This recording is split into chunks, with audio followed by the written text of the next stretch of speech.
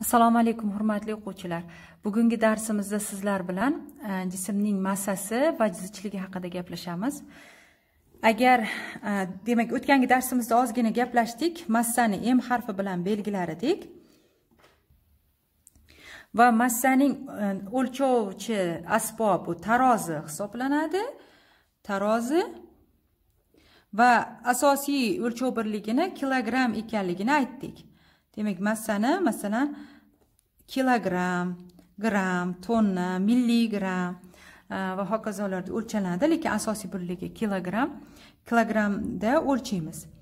Lekin endi yana bir narsa borki jism masalan ha har xil jismlarni bir xil o'lchamdagi bir xil kattalikdagi har xil jismlarni oladigan bo'lsak e, ularning massalarini tarozi o'lchanganda har xil chiqqanini ko'ramiz.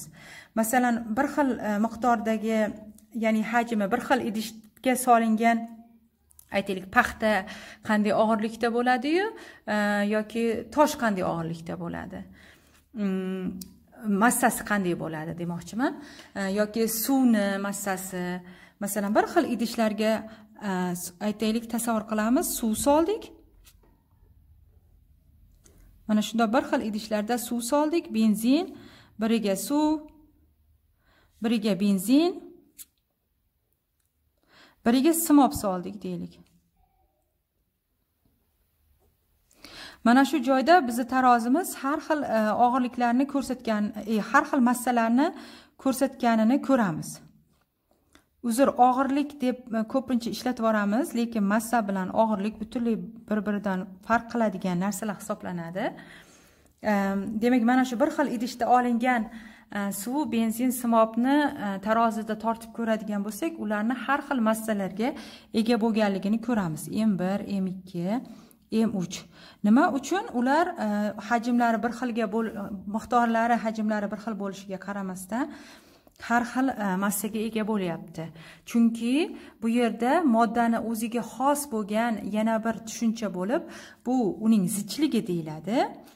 Zichlik Э, ya'ni molekulalar qanchalik bir birlariga zid joylashishligiga qarab э, jismlarning massasi farq qiladi. O'sha bir xil hajmdagi massalari farq qiladi. Demak zichlik yozib qo'ydim.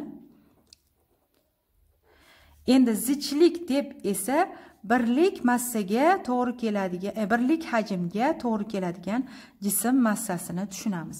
Mana tasavvur qiling mana shu hamma tomoni bir metr bo'lgan kubik edi deb tasavvur qiladigan bo'lsak masalan hamma tomoni bir metr bo'ladigan bo'lsa u holda mana shu kubikni hajmini topishi kerak bo'ladigan bo'lsa va kubning hajmi masalan a kub ekanligidan ya'ni e, a ko'paytirilgan a ko'paytirilgan a ekanligidan bu hozir bir metr kvadrat e, bir metr kubni beryapti bizga. Agar mana shu hajm bir metr kub bo'lgandagi jismning massasiga moddaning massasiga mana shu moddaning e, zichligi deyiladi. Demak unda mana bu zichlik formulasi bo'ldi. Moddaning zichligi formulasi bo'ldi. Ro deb o'qiymiz mana bu harfni. Ro bundoq bo'larmidi? Ro deb o'qiymiz buni. Э, va mana bu v esa bu yerda hajm. Jismning hajmi. Endi asosiy o'lchov birligiga keladigan bo'lsak massani kilogramm ekanligidan ro teng massaning bir kilogramm deb oladigan bo'lsak kilogramm ekanligidan hajmni asosiy o'lchov birligi metr kub ekanligidan demak zichlikni o'lchov birligi bir kilogramm taqsim metr kub asosiy o'lchov birligi.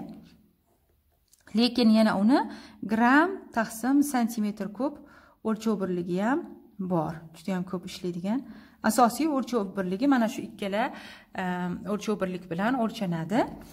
Ehm, endi mana mana shu joyda e'tibor bergan bo'lsangiz metr kub santimetr kub gramm endi bularni o'zaro bog'liqligini ham o'rganishimizga to'g'ri keladi. Ehm, undan oldin esa men E, sizlarga masalan ba'zi bir e, masala yechishda kerak bo'lganligi uchun ham ba'zi bir e, figuralarni hajmini topishni bir eslatib o'taman. Mana masalan mana bu figuramiz kubik shaklida bo'lyapti. Demak buning formulasi hozir bo'ladi bizda v o'sha kubni formulasi. Hamma tomoni a ekanligini hisobga oladigan bo'lsak bu tomoni ham va mana bu tomoni nima deydi? Bu tomoni va mana bu tomoni balandligini ham a ga e, teng ekanligini hisobga oladigan bo'lsak v kubikni formulasi a kub shaklida hisoblanadi. Endi masalan prizmani oladigan bo'lsak mana prizma mana bu qiyofada bo'ladi. Ya'ni boshqa bir tomoni uzun bo'lishi mumkin. Hamma tomoni har xil bo'lishligi mumkin. Bu yerda endi mana bir tomoni kvadrat ko'rinishda turibdi bizda lekin mana shu ham farq qilishligi mumkin. U holda Э, uning demak prizmani э, nimasini hajmini olganimizda esa э, v teng bo'ladi a ko'paytirilgan b ko'paytirilgan s. Ya'ni mm, eni qalinligi va bo'yini e, hisobga ko'pay bir birlariga ko'paytiramiz. O'sha uch xil uchta tomonini bir birlariga ko'paytirish orqali e, uning hajmini topamiz. Prizma bo'ladigan bo'lsa. Yoki mana quti shaklida biron bir quti shaklidagi e, jismning hajmi. Endi agar u mana bunaqa silindr ko'rinishida bo'ladigan bo'lsa e, mana e'tibor bering bir tomoni e, umuman dumaloqda mana silindr deyiladi mana shu shaklga. Demak silindr bo'ladigan bo'lsa jismimiz demak uning hajmi mana bu aylananing radiusi r ekanligidan demak pi r kvadrat ko'paytirilgan mana bu balandligiga. Pi r kvadrat ko'paytirilgan h ya'ni mana mana bu yana chizib qo'yaman. Mana bu silindr deydigan bo'lsak radiusi erga teng bo'ladigan bo'lsa uni va balandligi hga teng bo'ladigan bo'lsa mana shu ifoda orqali silindrni e, silindr silindrni Э, nimasini topamiz. Э, hajmini topish uchun mana shu formuladan foydalanamiz. Va yana mana bu shar shaklidagi shar shaklidagi masalan mana yer shari deylikda э, shar shaklidagi ya'ni chizib ham qo'ya qolaman. Mana mana shu shar shaklidagi figuralarni radius erga teng bo'ladigan bo'lsa uning hajmini demak to'rt taqsim uch pr kub formula orqali hisoblaymiz. Bular masalada kerak bo'lib qolishi uchun bo'lib qolganligi uchun e, aytib o'tyapman. Aslida bu matematik ifodalar hammasi geometrik ifodalar. Demak bu sharning hajmi formulasi bo'ldi. Endi e, davom etamiz. Mana aytib o'tganimdek masalan bir metr kub bir santimetr kub yoki bir detsimetr kub hajmlar bir biriga o'zaro qanday bog'langan? Ularni qanaqa qilib masalan bir kattalikdan boshqa kattalikka o'tkazishni ozgina o'rganib olamiz. Buning uchun demak bizga tasavvur qiling mana e, masalan sizda bitta kubik bor edi. Hamma tomoni a ga teng bo'lgan e, kubik bor edi. Mana shuning hajmi deyilganda aytib o'tganimdek v teng uchta tomonni ko'paytmasi deb aytdik. A ko'paytirilgan a ko'paytirilgan a deb aytdik. Masalan u holda buni men metr masalan har tomoni bir metrga teng deydigan bo'lsam u holda v teng bo'lardi. Bir metr ko'paytirilgan bir metr ko'paytirilgan bir metr bo'lib turib bu degani metr metr metr ko'paytirilgan shunda bir metr kubni bizga bergan bo'lardi. Endi keling mana shu ifodani ehm, ehm, detsimetr kubda ifodalaymiz. Bir metrimiz bir metrimiz o'n detsimetr ekanligini hisobga oladigan bo'lsak mana shu bir metrni o'rniga endi o'n desimetr detsimetr yozib chiqadigan bo'lsam v teng o'n detsimetr e, ko'paytirilgan o'n detsimetr ko'paytirilgan o'n detsimetr bo'lib ko'paytmadan demak ming detsimetr kub kelib chiqdi. Bir metrni o'rniga o'n detsimetr qo'ydim. Demak bu degani mana bu bir metr kubimiz teng ekan bir metr kubimiz teng ekan e, ming detsimetr kubga deganini mana shu joydan oldim hozir. Men uchun e, masalan o'quvchilarni tushunishi juda yam muhim. Nima uchun? E, buni bunga o'tkazdik. Buni yodlab olsa ham bo'ladi lekin esingizdan chiqsa demak u degani e, hammasi yo'qqa chiqdi degani bo'ladi. Shuning uchun ham sizga hozir maydalab tushuntiryapman. Shuni yaxshilab miyangizga quyib olsangiz bunda har doim sizni mm, unutgan taqdiringizda ham yana qaytib javobga yetib kelish imkoniyati bo'ladi.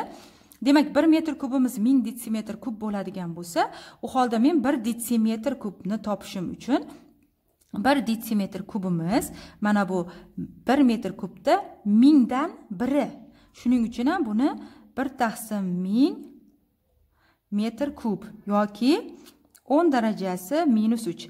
Bir ko'paytirilgan o'n darajasi minus uch E, metr kubga teng ekanligini bilib oldik. Demak bir metr kubimiz ming detsimetr kub ya'ni bir endi bir detsimetr kubimiz esa e, bir ko'paytirilgan o'n darajasi minus uch metr kub. Masalan sizga besh detsimetr kub deb aytishsa demak bu degani sizda besh ko'paytirilgan o'n darajasi minus uch ya'ni beshni birga ko'paytirsangiz besh shuning uchun yana o'n darajasi minus uch yoniga ko'paytma bo'lib tushadida besh ko'paytirilgan o'n darajasi minus uch metr kubga teng bo'lib qoladi.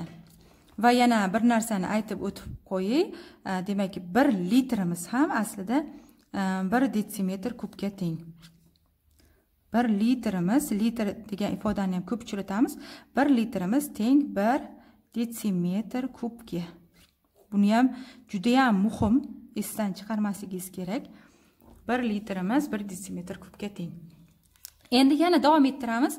Bir metrimiz o'n detsimetr edi. Endi aytamizki bir metrimiz teng edi yuz santimetrga.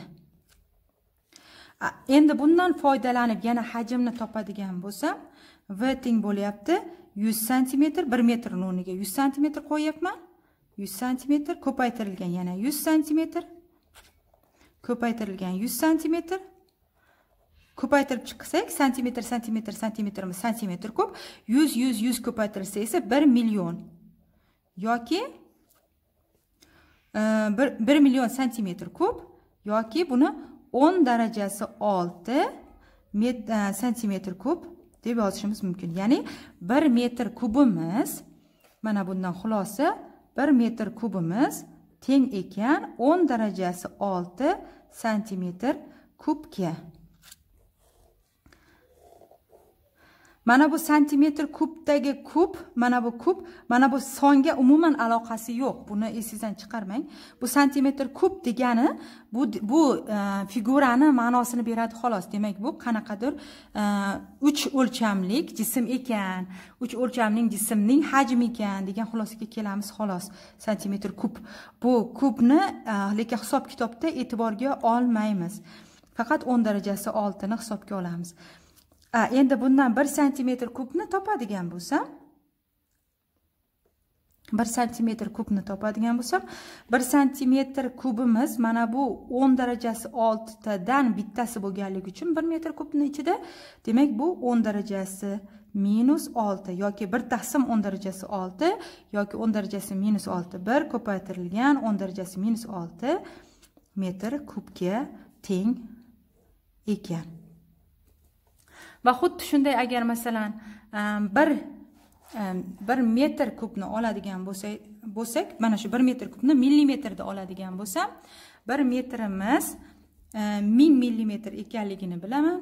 Ya'ni ming millimetr ming millimetr ming millimetrni ko'paytirib chiqadigan bo'lsam milliard ya'ni o'n darajasi to'qqiz millimetr kub ekanligi ya'ni bir metr kubimiz o'n darajasi to'qqiz millimetr kub ekanligi bir millimetr kubimiz esa mana shuning teskarisi bo'lib o'n darajasi bir ko'paytirilgan o'n darajasi minus to'qqiz millimetr kub ekanligini bilib olsak bo'ladi. Endi masalan sizda detsimetr kub bor ediyu uni santimetr kubga o'tkazishingiz kerak. Agar mana shu mana shu narsalarni bilgan bilgan holda buni davom ettirishingiz mumkin bo'ladi. Endi yana sizga aytishim zarur bo'lgan narsalardan biri mana e, bir kilogramm e, bir kilogramm e, taqsim metr kub bilan zichlikni o'lchov birliklarini aytib o'tganimizda u bir gramm taqsim santimetr kubda ham o'lchanadi deb aytdik. Bular bir biridan qanaqa farq qilishini taqqoslashni hozir tezlikda o'rganamiz. Buning uchun masalan bir gramm taqsim santimetr kubni aylantiraman. Э, bir gramm taqsim santimetr kubni kilogramm taqsim metr kubga aylantiraman.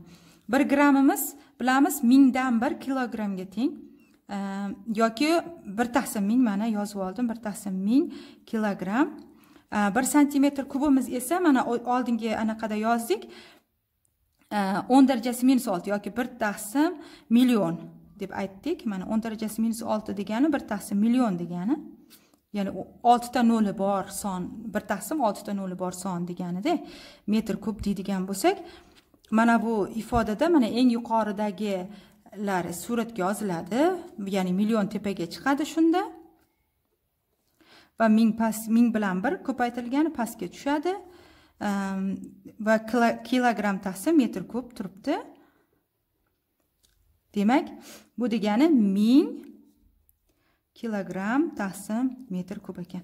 Ya'ni bir gramm taqsim santimetr kubimiz bir e, ming kilogramm taqsim metr kubga teng ekan. Agar sizdan taqqoslang deydigan bo'lsa demak mana bu ifodani katta deb olasiz va ming martaga katta deb olasiz. Ming martaga katta. Ming marta.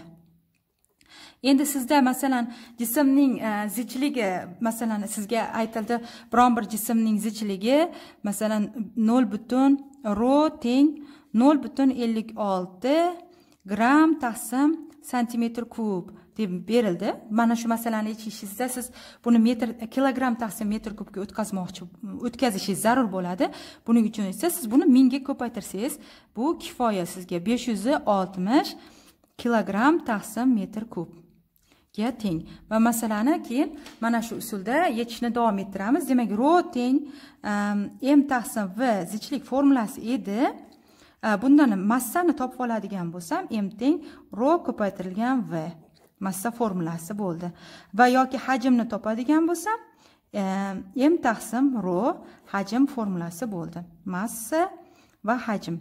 Keyingi darsimizda shu mavzularga doir masalalar yetish bilan davom ettiramiz. Hozircha xayr sog' bo'ling.